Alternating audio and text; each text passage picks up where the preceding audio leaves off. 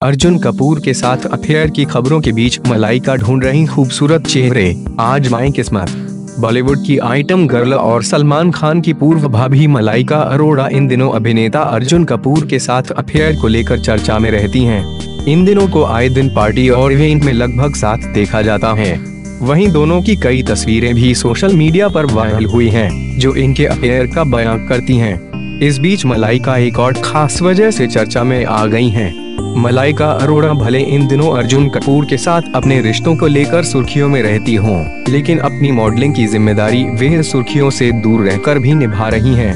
मलाइका को देश के सबसे बड़े फ़ैशन वीक में लॉन्च किए जाने के लिए एक नई मॉडल की तलाश का जिम्मा सौंपा गया है इसके लिए मलाइका ऑडिशंस की शुरुआत भी कर चुकी हैं।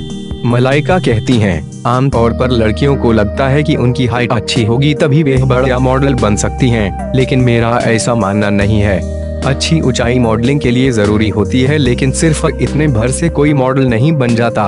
एक अच्छा मॉडल बनने के लिए हाइट से ज़्यादा ज़रूरी है खुद पर भरोसा होना और अपनी एक अलग निजी पहचान को बनाए रखना। किसी को कॉपी करके कोई मॉडल नहीं बन सकता। अमर उजाला से बात होने पर मलाइका ने कहा कि वे भी ऑडिशंस के दौर से गुजरी हैं और किसी भी मॉडल या एक्टर के लिए यह बहुत मुश्किल समय होता है। अपना सर्वोत्तम देने के बाद भी आपको पता नहीं होता कि आप चुने जाएँगे या नहीं। लेकिन, ये पूरी प्रक्रिया ही अपने आप में बहुत कुछ सिखाती है। जीवन में यह आपको खुद को बेहतर करते रहने के लिए प्रेरित करती है। बता दें कि अर्जुन कपूर के साथ खबरों पर हाल ही में मलाइका अरोड़ा का पहला रिएक्शन सामने आया है। मलाइका से जब अर्जुन और उनके रिश्ते के बारे में पूछा गया तो उन्होंने कहा दश मैं बैलेंस करना जानती हूँ और जब मुझे न कहना होगा तो मैं कह दूँगी, दरअसल, अरबाज से अलग होने के बाद मलाइका और अर्जुन को कई बार एक दूसरे के साथ समय बिताते हुए देखा गया। मलाइका ने अपने और अर्जुन के रिश्ते को न तो खुलेआम स्वीकार किया और न किया स्वीकार।